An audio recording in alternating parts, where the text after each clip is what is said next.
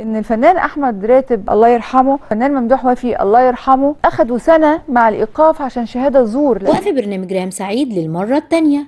وريهام سعيد أنا أسفة مليون مرة. أنا غلطت إن قلت أحمد راتب وممدوح وافي شهدوا زور. ولكن في تشابه أسماء واللي مقصود بيه أحمد بدير.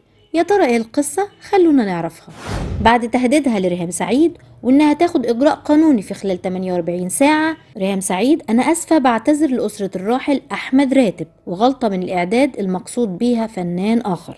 يبدو كده إن برنامج صبايا الشمس تم وقفه بسبب الإهانة اللي اتوجهت لأسرة الفنانين الراحلين أحمد راتب وممدوح وافي وده بسبب الزج باسمهم تحت مسمى الشهادة الزور.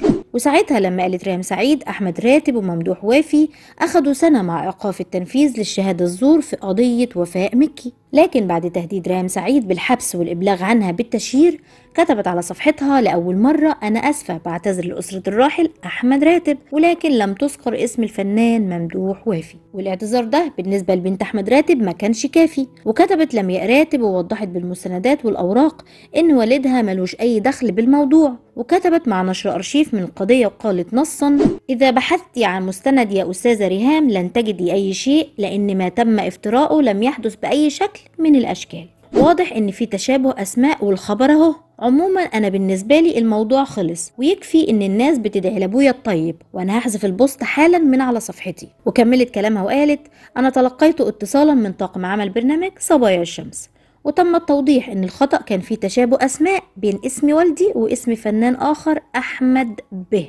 وهنا الجمهور ربط حرف الباء بالفنان أحمد بدير لكون اسمه اتذكر في القضية. لكن اختفاء ريهام سعيد عن الشاشة زود شكوك المتابعين وده لأنها اختفت لمدة أسبوع كامل وإن خطأها ده سبب في وقف البرنامج. ولكن ريهام سعيد وضحت من خلال منشور بصفحتها بالفيسبوك وقالت أنا بعتذر عن الظهور في حلقاتي الأسبوع ده لدواعي صحية وطبيعي إن الفنانين بيقفوا جنب بعض في الأزمات لكن إذا الخبر غير صحيح فأنا بعتذر مليون مرة. والأهم من أي حاجة إن محدش محترم يكون زعلان مني أبدا وهيتم الاعتذار الاعتذار على الهواء لأن ده أصول المهنة مش علشان أي سبب تاني. لو ربنا أراد وشفاني. حاجة تانية ملهاش علاقة بالمرض. أقسم بالله أنا عمري ما قصدت ابدا إن حد يتضايق مني ودايما بتكلم من قلبي. أنا بعتذر لأسرة الفنان الراحل ممدوح وافي والفنان أحمد راتب. أنا عمري ما قلت خبر من غير مستند لكن العثور على مستند من 23 سنة كان شبه مستحيل. أنا آسفة أنا أكن كل الاحترام لكل فنان زميل ولم أقصد الإساءة ابدا لأي بشر. وكملت كلامها وقالت أنا بشكر دكتور أشرف زكي مليون مرة على المساندة المستمرة لي ولكل الفنانين الأحياء منهم والأموات. جدير بالذكر إن المشادات حصلت بسبب ظهور إثبات جديد بعد 23 سنة في قضية وفاء مكي. والإثبات بيقول إن وفاء مكي بريئة من تهمة تعذيب الخادمتين وده بسبب تصريحات ميار الببلاوي المثيرة للجدل واللي قالت إن البنات كانوا زي القرود ما فيهمش حاجة. وبعدها تراجعت ميار الببلاوي وقالت إن البنات رجعوا تاني لوفاء. وأكيد عملت فيهم كده. وده بناء على كلام الشاهد اللي ظهر بالصوت مع ريهام سعيد في برنامجها صبايا الشمس. وبعدها حصلت مشادات كبيرة جدا بين وفاء مكي وميار الببلاوي